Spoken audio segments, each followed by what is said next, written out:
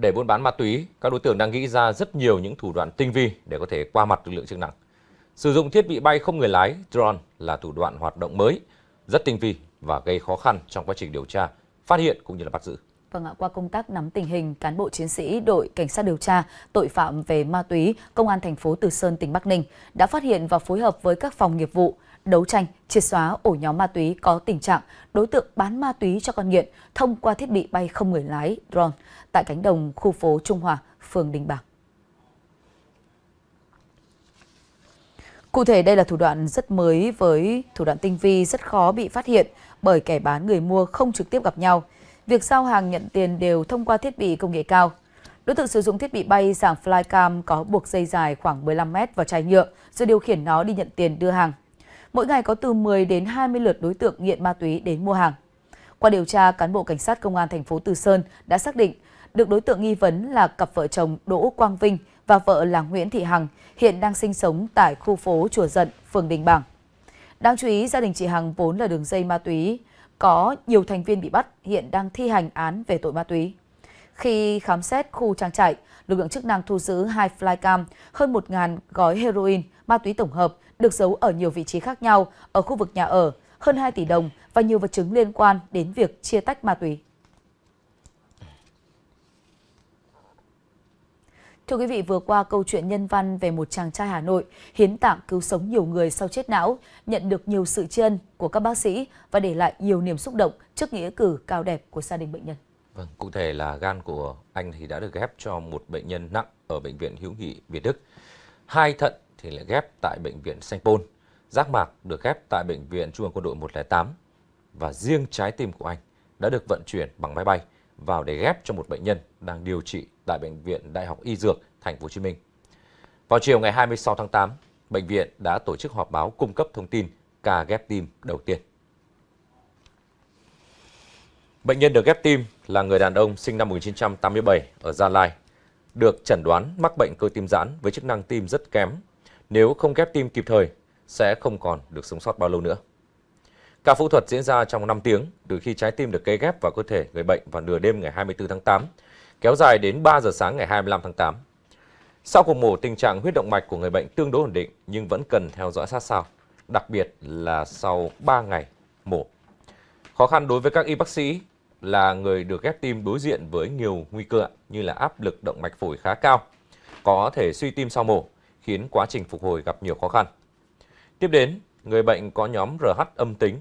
Đây là một trường hợp rất hiếm gặp và gây khó khăn khi xác định các kháng thể bất thường và chuẩn bị máu phù hợp. Đến nay, ca mổ đã có những kết quả tích cực khả quan. Bệnh nhân được ghép tim hiện đã được rút nội khí quản và đang tỉnh táo trở lại. Thưa quý vị, Phó Giáo sư Tiến sĩ Nguyễn Hoàng Bắc, Giám đốc Bệnh viện Đại học Y Dược bày tỏ niềm vui khi bệnh nhân sẽ sớm được trở về với gia đình, bắt đầu một cuộc sống mới và sự thành công ca ghép tim đầu tiên là niềm vui chung của toàn bệnh viện. Vâng, và người nhà bệnh nhân thì cũng đã bày tỏ sự xúc động, lòng biết ơn tri ân đối với gia đình người hiến tặng đã gửi lại sự sống trước khi về cõi vĩnh hằng. Nhiều người Việt có sở thích ăn đồ tái, đồ sống, đặc biệt là rau sống là món ăn ưa thích trong bữa ăn của nhiều gia đình. Cũng do sở thích ăn rau sống, mới đây một người phụ nữ 65 tuổi Phú Thọ bị nhiễm cùng lúc 5 loại run sán nguy hiểm và sốt 8 kg trong vòng 2 tháng. Người phụ nữ 65 tuổi có dấu hiệu đau đầu sụt 8 kg trong 2 tháng. Tại Bệnh viện Đa khoa Phú Thọ, các bác sĩ cho biết kết quả chụp CT ngực phát hiện viêm phổi, xét nghiệm ký sinh trùng ghi nhận dương tính với 5 loại run sán. Trước đó, người phụ nữ có thói quen ăn rau sống. Bác sĩ nhận định đây có thể là nguy cơ chính gây nhiễm ký sinh trùng. Bệnh nhân được chỉ định điều trị kháng sinh chống viêm, thuốc điều trị run sán bổ gan.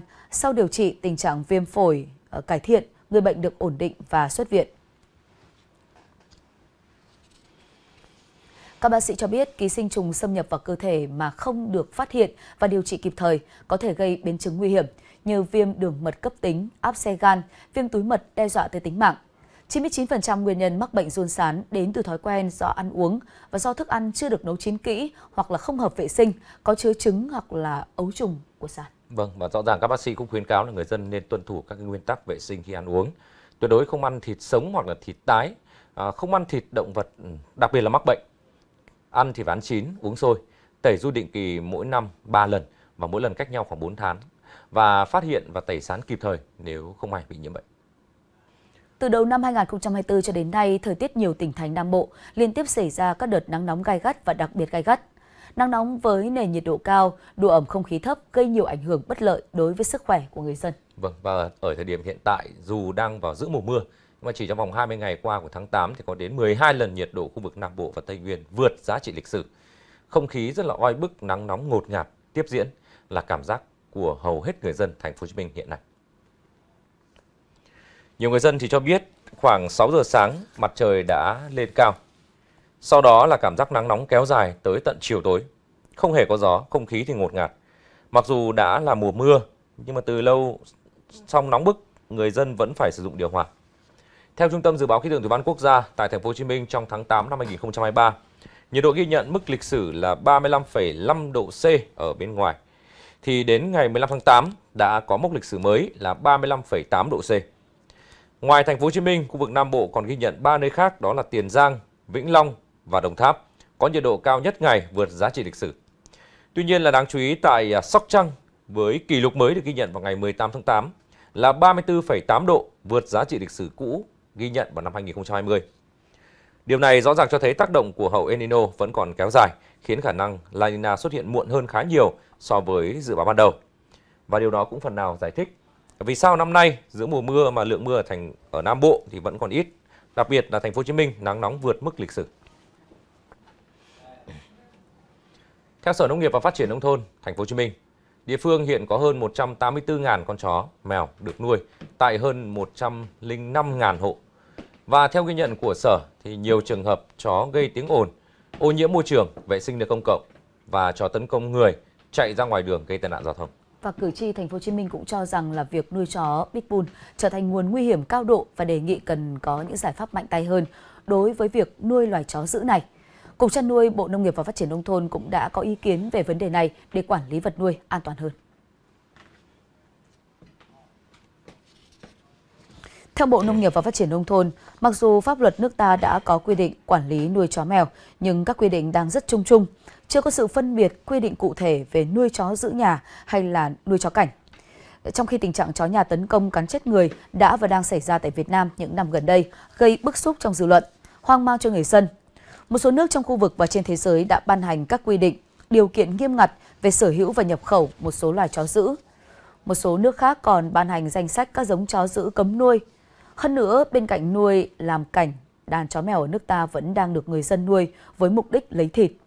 Việc nuôi tập trung số lượng lớn đàn chó mèo với mục đích lấy thịt trong khu dân cư gây ô nhiễm môi trường, tiếng ồn, ảnh hưởng đến cuộc sống và sinh hoạt của người dân xung quanh. Một số địa phương đã có văn bản gửi Cục chăn nuôi, Bộ Nông nghiệp và Phát triển Nông thôn liên quan đến việc giải quyết thỏa đáng các vấn đề này. Trong thời gian tới, Cục chăn nuôi đang đề xuất xây dựng văn bản quy định để siết chặt quản lý đối với hoạt động nuôi chó mèo, đảm bảo tính công bằng, nghiêm minh, hiệu lực và hiệu quả của pháp luật Việt Nam.